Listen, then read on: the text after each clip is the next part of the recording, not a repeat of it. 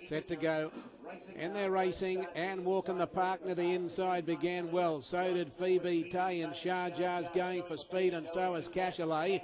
And when they settle fully into stride, walk in the park will lead Shahjar. Cachalet goes to third, Goldfinger fourth inside. Phoebe Tay from Moulin Lady and Lily Levy a little bit wide from Player Run. Dubai Bell back on the fence, then La Bella Louisa followed by Vision of Falvalon. Now Strawberry Fields getting back and so is Little Pumpkin with a little knowledge and a fairway back came Tunes of Gold from Seesawing. Return to centres back second last and River Perfume last. At the 1,000 metres and walk in the park, the leader and Nectar Cachalet the outside. Shahjar scooting three deep on the outside, about to run to the front.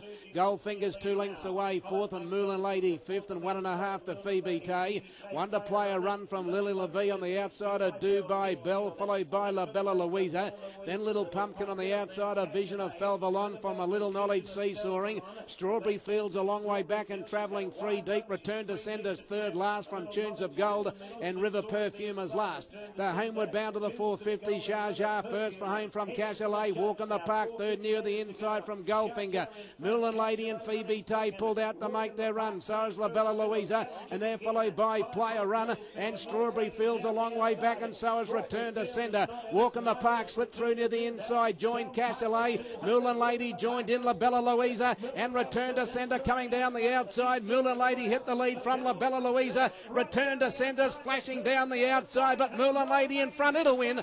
Moulin Lady from either La Bella Louisa or Return to Sender.